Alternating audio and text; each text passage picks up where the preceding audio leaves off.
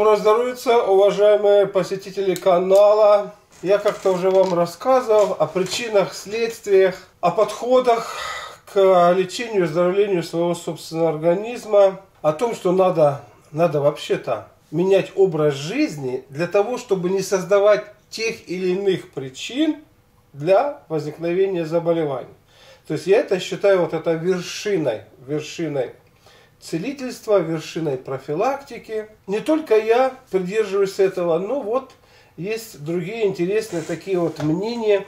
И давайте прослушаем эти мнения для того, чтобы расширить наш кругозор и взглянуть на проблему лечения ну, несколько с иной стороны. Вот мне попалось такое видео, и прослушаем его, и я его прокомментирую.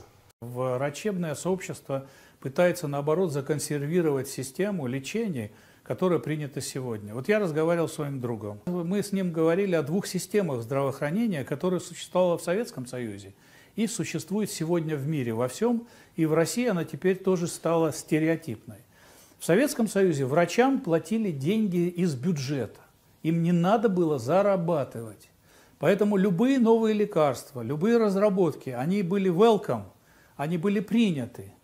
Наши врачи были очень во многих дисциплинах врачебных впереди гораздо все, всего мира.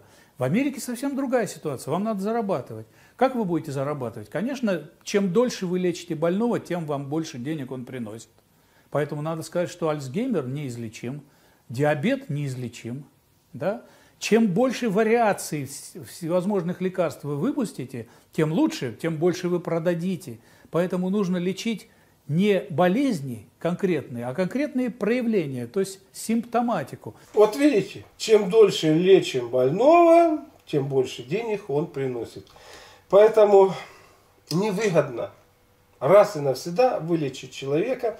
Да, в принципе, это и невозможно. Вот сейчас мы послушаем дальше, почему это невозможно. Вся медицина мира сегодня симптоматична, она лечит симптомы. Но рассказать вам что-нибудь, чтобы было понятно людям. Вот, допустим, что-то случилось с вашей почкой, она перестала чистить азотистые соединения, достаточно так, как она должна это делать. Что происходит? Почка дает сигнал в мозг. Мы уже знаем как, через макрофаги. И мозг увеличивает ваше кровяное давление.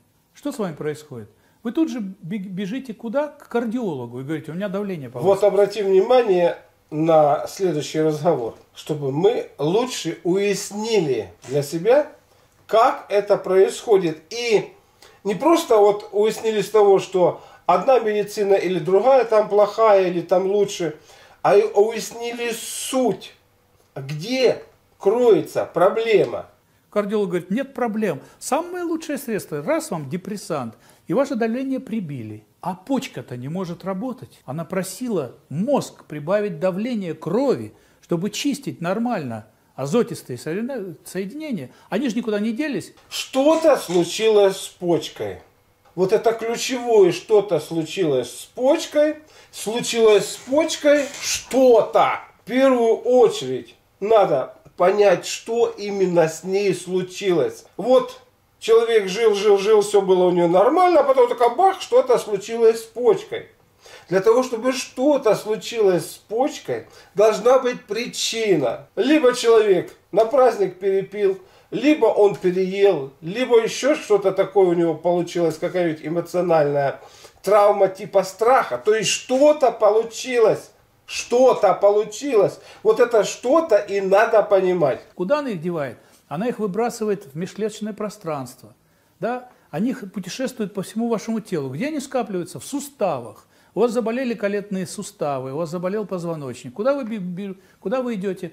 К остеопату. Остеопат говорит, колени, я специалист по коленям, вот вам нестероидный препарат. Вы его начинаете принимать. Куда бьет в первую очередь нестероидный препарат? По почкам. Почка орет уже, кричит, я погибаю, я не могу выполнить функцию. Мы же, вы же убьете в организм. Примерно так она разговаривает с мозгом. Мозг повышает давление крови. Вы куда идете? К кардиологу. Кардиолог говорит, ой, не, не помогает, а вот наиболее сильное средство. Он вам дает такой депрессант давления, что у вас оно снижается. И что дальше вас ждет? Инсульт.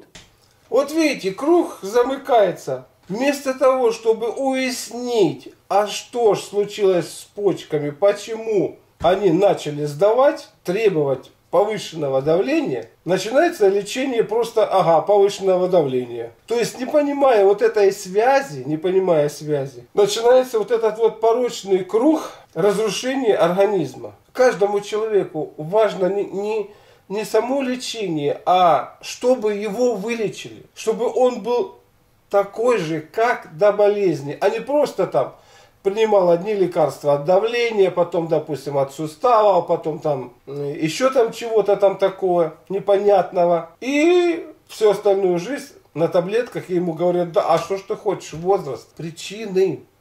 Почему это причины? И эти причины находятся в нашем образе жизни. Образом жизни нашим, личным, никто не занимается. Мы приносим уже готовую свою проблему врачам, и, естественно, начинается так разбор. Я бы не сказал, что, вот я еще хочу подчеркнуть, я бы не сказал, что они виноваты в том, что вы заработали причину своим глупым образом жизни. Очень мало крови поступает в мозг, снизив давление до такой степени. А надо было лечить что? Почку. Ничего бы этого не было вообще. Понимаете? Вот видите, надо было бы лечить почку. Наблюдается вот такой порочный круг. Одно средство не помогает, значит более сильное. Оно не помогает, еще более сильное. Не помогает, допустим, ага, начинаем, допустим, подключать э, гемодиализу, то есть э, помогать почке очищать. Вместо того, чтобы в начале, в начале не обратить внимания, даже не лечить почку, а понять, откуда возник сбой. Именно понять и устранить. Все это делается образом жизни, понимаете, образом жизни, ничем это больше не делается. В образ жизни, чтобы вы понимали, входит наше мышление, двигательная активность, как мы с вами движемся, все время вот так вот сидим перед монитором или все-таки даем посильную нагрузку организму, который, который его активирует. Распорядком дня, вовремя встаем, вовремя ложимся спать. То есть мы вписываемся вот в эти вот э, космические ритмы смены дня и ночи и так далее. Потому что от смены дня и ночи зависит активность нашего организма, наших ферментов и так далее, и так далее. Никаких там делений носу и жаворонков нету. Это все придумано, потому что активность всех этих ферментов зависит от освещения и теплоты. И, наконец-таки, следующее, это питание. Вот они, четыре кита здоровья, манипулируя которыми мы с вами добиваемся прекрасного здорового состояния. И если мы это не хотим понять, пользуясь нашей необразованностью, нам предлагается разного рода лекарства. Я разговаривал как-то с одним э, американским доктором, светило, на одном из конгрессов. Что-то ему начал говорить, он говорит, вы знаете, Артем Михайлович, я не знаю то, что вы говорите, я не имею понятия. Я самый лучший специалист в мире по среднему уху. Вот среднее ухо я лечу лучше всех в мире. Вы что-нибудь хотите об этом узнать? Я говорю, да нет, вроде нет. Но вы знаете, других органов я не знаю. Раз вот, вот такая специализация, я не знаю и так далее. Ухо, любой орган, он связан с, со всем организмом. Вот так вот и получается. Вот так вот и получается порочный круг лечения, в котором, по большому счету, ведется какая-то работа, но только не на то, чтобы человек стал здоровым. Вот об этом я и хотел сегодня с вами поговорить.